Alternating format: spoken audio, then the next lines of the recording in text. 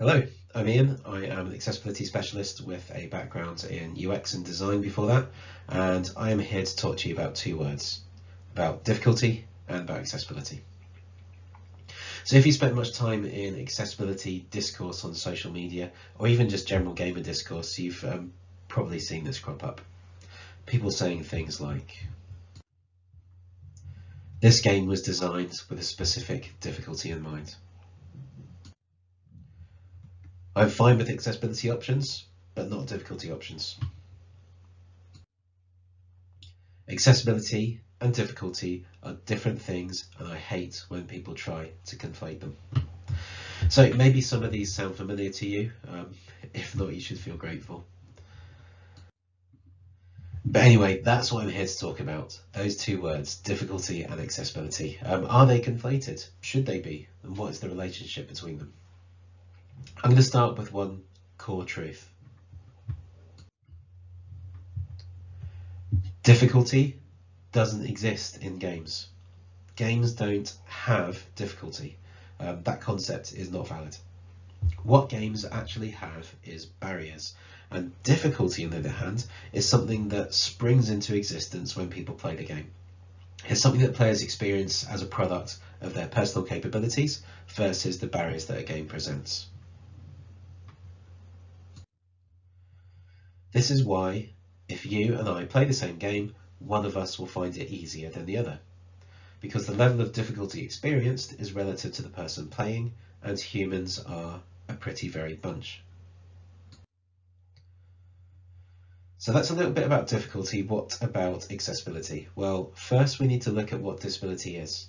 Uh, disability is one of the few things in life that there's actually global consensus on is defined as part of the UNCRPD, which is the United Nations Convention on the Rights of Persons with Disabilities, which nearly every country on earth is signed up to. And that's based on the social model of disability, which states that disability and impairment are two different things. An impairment is something that somebody has, an attribute, and disability is a state rather than an attribute and people are disabled by mismatched interactions between their impairment and some kind of barrier, resulting in difficulty performing a task.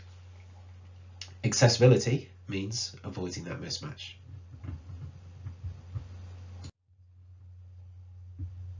So, difficulty is the product of capability versus barrier. Disability is the product of mismatched interaction between capability and barrier, and accessibility means avoiding unnecessary mismatch between capability and barrier. This means that all accessibility options affect difficulty. For example, if you remove colour blindness accessibility, what you're left with is a disabling barrier that makes the game more difficult for colourblind people. And the reverse is true as well. All difficulty options affect accessibility. They modify barriers and any barrier is going to be disabling for someone with some kind of impairment. So while difficulty and accessibility don't mean exactly the same thing, they are intimately related. There's no dividing line with accessibility over here and difficulty over there. Changing one changes the other. And balance is what it comes down to. Games can't be balanced. That's another concept that really isn't valid. They can be balanced to an individual, but they can't just be balanced in general for everyone. Most barriers are actually unnecessary and many are unintended. And some of these barriers can be avoided by default, and that should always be the first port of call. But some can't, because there's still that variance in needs and capabilities to account for. Humans cover a rich spectrum of variance. So being able to adjust barriers in line with that human variance means that players have some means of addressing the ways in which the game is uniquely unbalanced for them.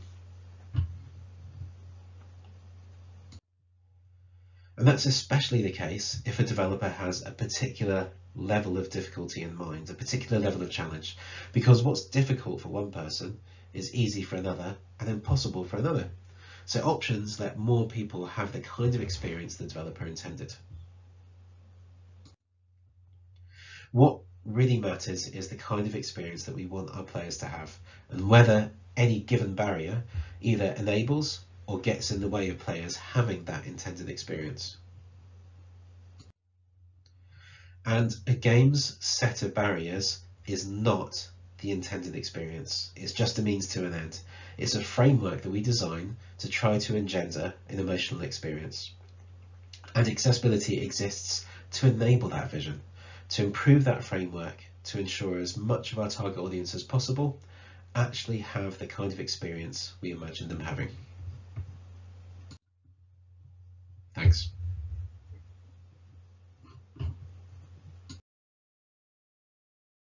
All this is possible thanks to our sponsors, Playtest Cloud, Player Research, Balsamiq, Adobe, the book How to be a Games User Researcher, UX is Fine, Antidote, and Sketch.